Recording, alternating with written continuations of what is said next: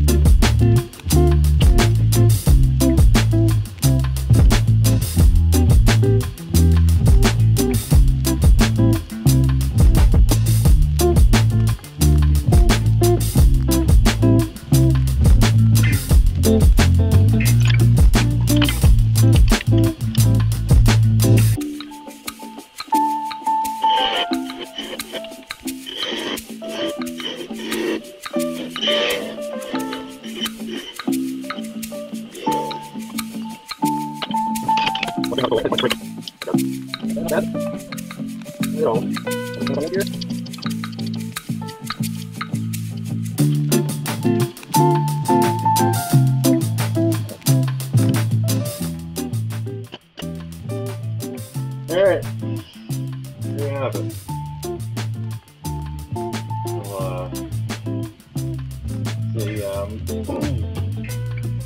Let's get the pen. There we go.